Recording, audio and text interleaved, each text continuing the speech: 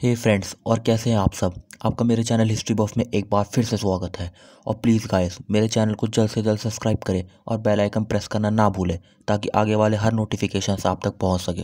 दोस्तों, आज इस वीडियो में हम ओल्ड स्टोन एज यानी पेलियोथिक एज जिसको पूरा पाषाण युग के नाम से भी जाना जाता है, उसके बारे में इस वीडियो में चर्चा करेंगे। और इसके थ्री टाइप्स जो कि लोअर पेलियोलिथिक मिडल पेलियोलिथिक और अपर पेलियोथिक है, इसके बारे में भी चर्चा करेंगे। दोस्तों, वैसे तो हमें से हर कोई जानता है कि पृथ्वी की शुरुआत साढ़े चार अरब साल पहले हुई थी, लेकिन मानव विकास केवल इसके इतिहास के एक छोटे से हिस्से के लिए मायने रखता है। प्रागैतिहासिक काल, या जब मानव गतिविधि के रिकॉर्ड से पहले मानव जीवन था तो लगभग ढाई मिलियन वर्ष पूर्व से 1200 ईसा पूर्व तक इसे आमतौर पर तीन पुरातत्विक काल में बांटा जाता है, जो कि शाण योग, यानी कि स्टोन एज, कांस्य युग, ब्रॉन्ज एज और लॉ योग, यानी कि आयरन एज है। दोस्तों, शिकार के लिए बनाए गए औजारों के आविष्कार से लेकर खाद्य उत्पादन और कृषि में प्रगति से लेकर कला और धर्म के शुरुआती उदाहरणों तक, यह विशाल समय अवधि, लगभग बत्तीस सौ साल पहले मान परिवर्तन की अवधि थी। दोस्तों, अब हम अपने पहले टॉपिक की बात करने जा रहे हैं, जो है लोअर पैलियोथिक एज जिसको पूरा पाषाण युग या पुराना पाषाण युग लोअर पैलियोलिथिक एज भी कहते हैं। लगभग तीस हज़ार ईसा पूर्व से बीस हज़ार ईसा पूर्व तक फैले और मानव रचनात्मक में पहली उपलब्धियों का उत्पादन किया। इस समय अवधि में जो लिखित अभिलेखों की कमी के कारण पुरापाषाणकालीन मानव, संस्कृति और जीवन के तरीके के बारे में जो हमारा लगभग सारा ज्ञान था, वो पुरातत्व और निर्वंश विज्ञान की तुलना में आधुनिक शिकारी संग्रहकर्ता संस्कृतियों से होता है। पुरापाषाण काल बर्फ़ के पीछे हटने तक, यानी कि हिमयुग के समाप्ति तक चला, जब खेती और धातुओं के उपयोग को अपनाया गया था। तो यह माना जाता है कि लोअर पूरा पाषाण काल, जिसे प्रारंभिक पाषाण माना जाता है, वर्तमान में लगभग 2.7 मिलियन वर्ष पूर्व, या कहे तो दो करोड़ सत्तर लाख से दो लाख वर्ष पूर्व के बीच माना जाता है। यह प्रगतिहास में पहला पुरातत्व काल है, अर्थात वह अवधि या वह समय जब वैज्ञानिक मानव व्यवहार पर विचार करते हैं।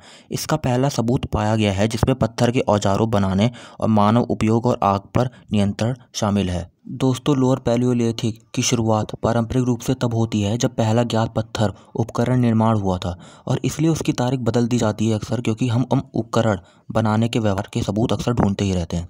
वर्तमान में प्राचीनतम पत्थर के उपकरण परंपरा को ओल्ड वोन परंपरा कहा जाता है और ओल्ड वोन उपकरण अफ्रीका में ओल्ड वे गॉर्ज में 2.5 से 1.5 मिलियन वर्ष पहले की साइटों पर पाए गए हैं।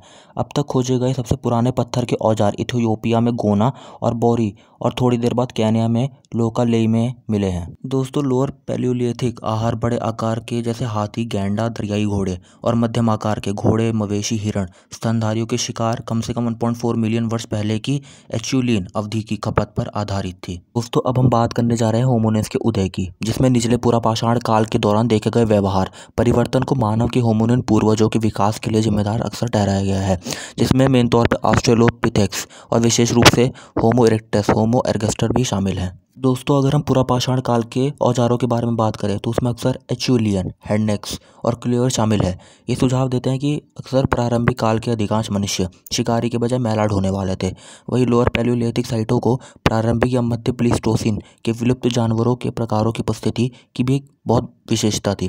साक्ष्य से लगता है कि एलपी के दौरान एक लोअर पैलियोलिथिक समय के अनुसार आग के नियंत्रण का उपयोग का भी पता लगाया गया था। वही दोस्तों यह भी माना जाता है कि वर्तमान में होमोरेक्टस के रूप में जाने वाले मानव ने अफ्रीका छोड़ दिया और लेवेंटाइन बेल्ट के साथ यूरेशिया में यात्रा की।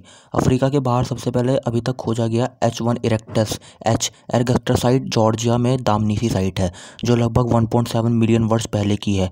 उबैदिया गलील सागर के करीब स्थित है, एक और प्रारंभिक एच वन इरेक्टस साइट है, जो वन से वन मिलियन वर्ष पहले की है। वही दोस्तों, अगर हम इससे जुड़े कुछ स्थलों की बात करें तो लेवेंट कॉरिडोर में 200 से अधिक निचले पूरा पाषाण स्थलों को जाना जाता है। हालाँकि केवल कुछ मुट्ठी भर ही खुदाई की गई है, जिसमें इसराइल में एवरोन क्वारी गेशर बनोट, होलोन में रेवादिम तुबुन गुफा सीरिया में लतामने घरमाछी, जॉर्डन में एंसोडा लॉन स्प्रिंग, वही तुर्की में सहरमुज और कल्टेपेस है। दोस्तों, अब हम बात करने जा रहे हैं मिडिल पेलियोथिक के, जिसको मध्य पूरा पाषाण काल भी कहते हैं, लगभग दो लाख से पैंतालीस हज़ार वर्ष पूर्व। वह समय है जब होमोसैपियंस से सहित पुरातन मानव, पूरी दुनिया में प्रकट हुए और फले फूले। हैंडेक्स का उपयोग भी जारी रहा, लेकिन एक नए प्रकार के स्टोन टूल किट को मोस्टेरियन कहा गया, जिसमें उद्देश्यपूर्ण रूप से तैयार कोर और विशेष फ्लेक टूल शामिल थे। दोस्तों, हम इसके प्रारंभिक जीवन काल की बात करें तो इसमें मुख्य तौर पर होमोसैपियंस और हमारे नियंडरथल चचेरे भाइयों दोनों के लिए मध्यपुरा पाषाण काल में रहने की विधि में मैला ढोना शामिल था, लेकिन शिकार और इकट्ठा करने की गतिविधियों के भी स्पष्ट प्रमाण मिलते हैं। दोस्तों, पचपन हज़ार साल पहले तक पुरातन मानव अपने बुज़ुर्गों की देखभाल कर रहे थे, जैसा कि लॉ चैपल ऑक्स सेंट्स जैसी साइटों से पता चलता है। नरभक्षण के कुछ प्रमाण क्रैपिना और ब्लॉम्बस गुफा जैसे स्थानों से भी पाए जाते हैं। दोस्तों, दक्षिण अफ्रीका में प्रारंभिक आधुनिक मानव मध्य पूरा पाषाण काल, नियंडरथल के धीरे धीरे गायब होने और लगभग चालीस हज़ार से पैंतालीस हज़ार साल पहले होमोसैपियंस के उत्थान के साथ समाप्त होता है। हालाँकि ऐसा रातों रात नहीं हुआ।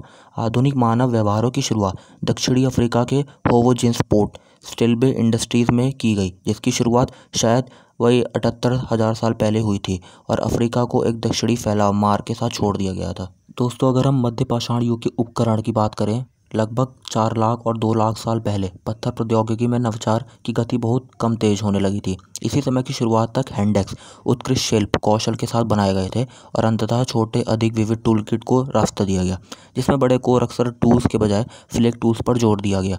ये टूल किट अफ्रीका के कुछ हिस्सों में कम से कम two lakh eighty five thousand वर्षों तक और यूरोप और पश्चिमी एशिया के कुछ हिस्सों में दो लाख पचास हज़ार से दो लाख वर्षों तक स्थापित किए गए थे। दोस्तों, अक्सर मध्य पाषाण युग के टूल किट में अंक शामिल थे, जिन्हें भाले बनाने के लिए शाफ्ट पर लगाया जा सकता था। जब अंततः छोटे बिंदु बनाए गए तो उन्हें डॉट्स तीर और अन्य प्रक्षेप्य हथियार बनाने के लिए छोटे चिकना शाफ्ट से जोड़ा जा सकता था।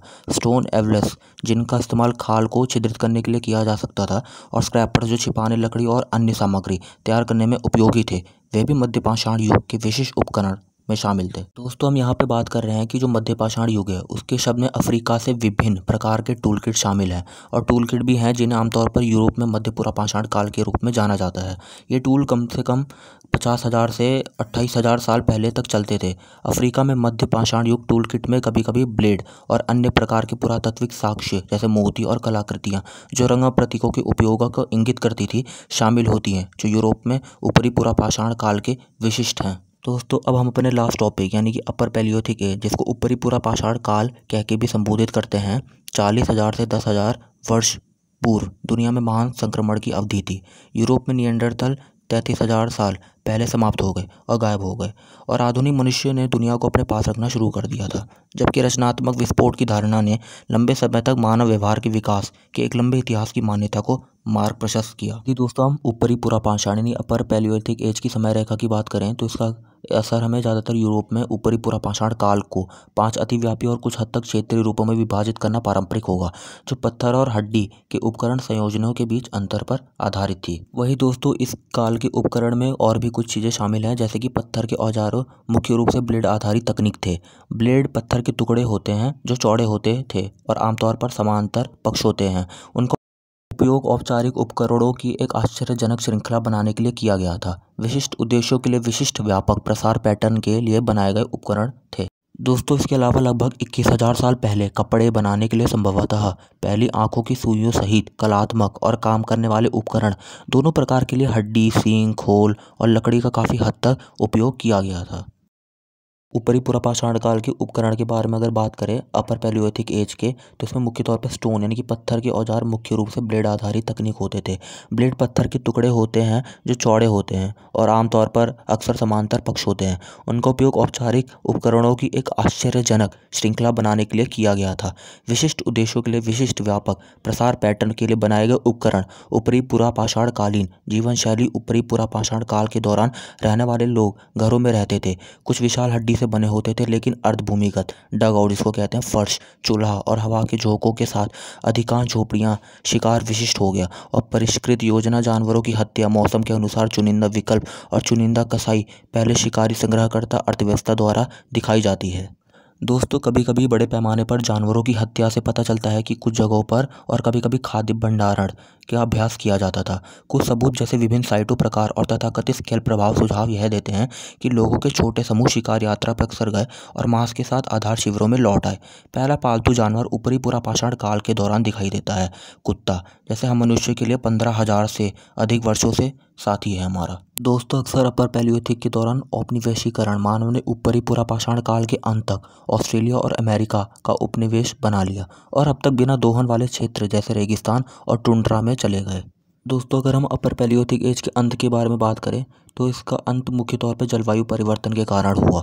ग्लोबल वार्मिंग, जिसने मानवता की, खुद की रक्षा करने की क्षमता को प्रभावित किया।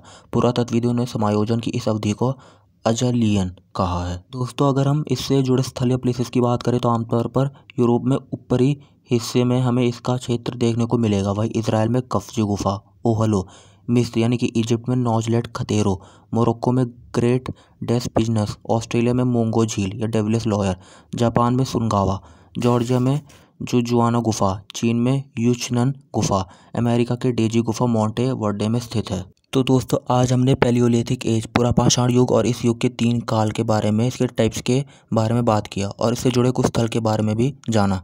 इसके अलावा भी दोस्तों, इससे जुड़े कई स्थल हैं और अवशेष हैं, जिसको पुरातत्विक खोजने में जुटे हुए हैं। अगले वीडियो में दोस्तों, हम मैसोलिथिक एज मध्य पाषाण युग काल की बात करेंगे और अगर आपको ये वीडियो अच्छी लगे तो लाइक सब्सक्राइब और कमेंट करना ना भूलें। जय हिंद दोस्तों, मैं आपका दोस्त अंशुमन।